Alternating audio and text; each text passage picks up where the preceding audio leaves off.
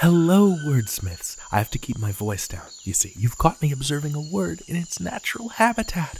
Here we can see the words at play nominalizing and conjugating, brachiating, snoozing. There's a waterfall of vowels. There's the consonant bamboo. All of this together, all the words and the situation in which they live, it's one big ecosystem. Let me let me right, let me back up. ecosystem is the word we're looking at in this video. E co sis tem. It's a noun. It means all living and non living things that are found in a specific environment. So, if this forest I'm in is a rainforest, we're talking about everything in that rainforest birds and monkeys and bugs and vines and mosses and rocks and rivers. All of it together is an ecosystem. Let's talk about this word's derivation. Eco is an interesting prefix because now it means having to do with the environment, but it ultimately comes from the Greek oikos, meaning home or dwelling place. The earth is our home, is the thinking there. System comes to us from Greek too, and it means the whole thing together. Basically, it's composed of word parts that mean a thing that sticks together. So, an ecosystem, right, is the way a home, an environment, works all together as a single unit. The fish eat the bugs, and the bugs pollinate the plants, and the plants feed the monkeys, and the monkeys distribute the seeds. A system, an ecosystem. You see?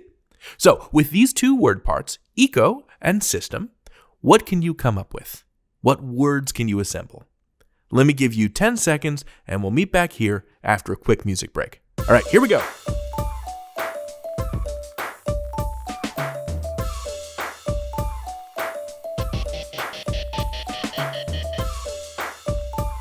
Here are three I came up with.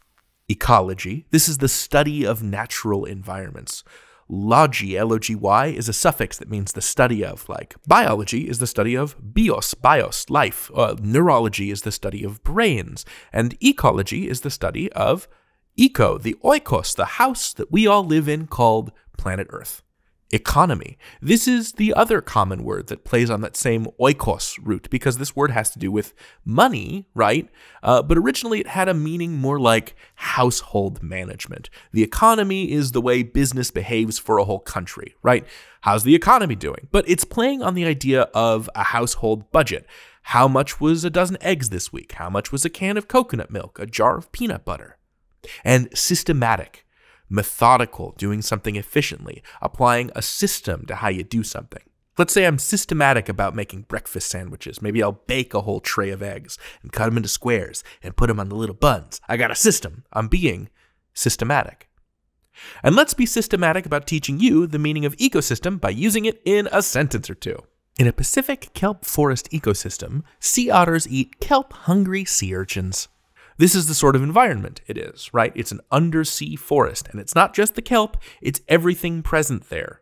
From the algae and the sand and the rocks and the seawater to the living creatures. You have to back up and see all of them working in concert.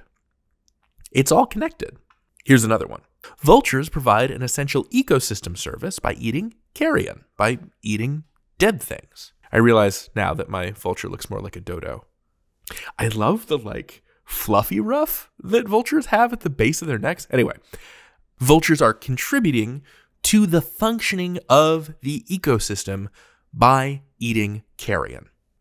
You're a part of it too, by the way. You're part of an ecosystem of, of learners and knowledge and rocks and moss and vultures and otters and sea urchins and bugs and monkeys. You're connected to it too.